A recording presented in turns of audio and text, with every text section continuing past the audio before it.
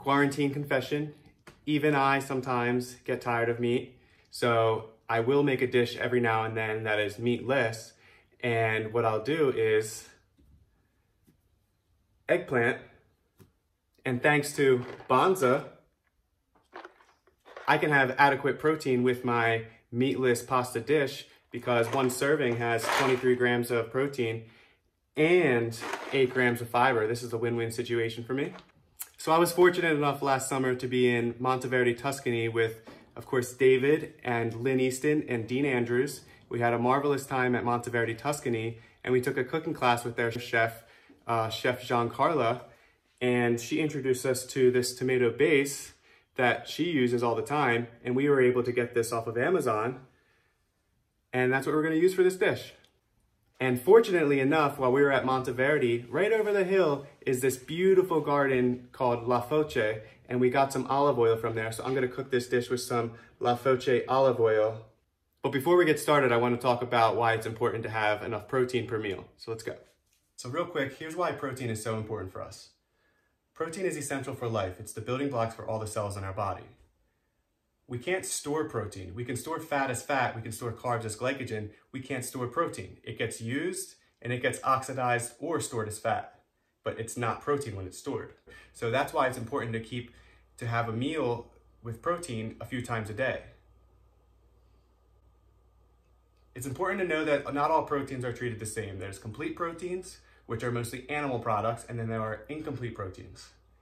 Complete proteins will be like your meat, chicken, eggs, milk, and they're complete because they contain all nine essential amino acids. Incomplete proteins like your rice, your oatmeal, your beans, these have amino acids in them, but they don't have all nine essential in them. So that's why people do pair rice and beans so you can make a complete protein out of them. Leucine is a very, very important amino acid, if not the most important amino acid, because you need a threshold of leucine in order for muscle protein synthesis to occur. This threshold is 2.5 grams approximately. So if you aren't eating animal products, this is important to know because if you don't hit that threshold, your body isn't going to take full advantage of muscle protein synthesis. Whether your goal is to lose weight, gain weight, gain muscle, lose fat, you're going to know, need to know this because it's important to keep your metabolism going. Here's a comparison of an animal product with protein versus a plant-based product with protein. Both equally are complete proteins, but let's compare deep down how much of each you will need to meet this threshold. Grilled chicken, skinless, uh, six ounces is about 180 calories, has about 36 grams of protein, and this will meet your 2.5 grams of leucine for that meal to, to initiate muscle protein synthesis. There's zero carbs in that. Quinoa, another complete protein, a great source of it as well, you would need five cups of cooked quinoa, which is 1100 calories, 41 grams of protein to meet that 2.5 grams of leucine. That's 197 grams of carbs. That's a lot. You see why animal products are so important for us to, to reach this? And if you're having trouble putting on muscle, this could be the reason. Now time for the exciting stuff. Let's go.